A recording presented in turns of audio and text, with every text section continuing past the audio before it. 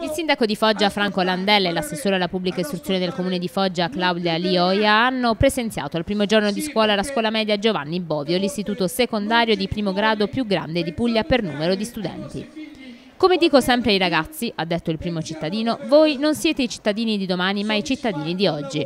Avete dei diritti e dei doveri e per conoscerli i luoghi più adatti sono la famiglia e la scuola.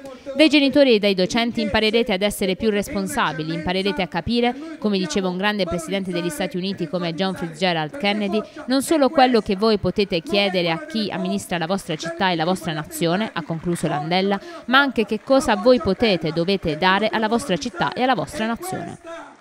E questo ci dobbiamo credere, ci dobbiamo credere.